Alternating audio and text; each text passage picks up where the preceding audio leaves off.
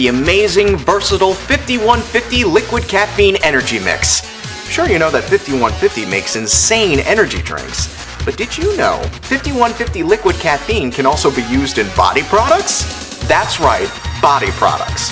Here's why. Your skin is your body's largest organ, and your skin absorbs more things than you know. So why not let it absorb something that will give you energy? Try these ideas. Try adding some 5150 to your body wash. Just add a little to your favorite body wash. Add some to your shampoo.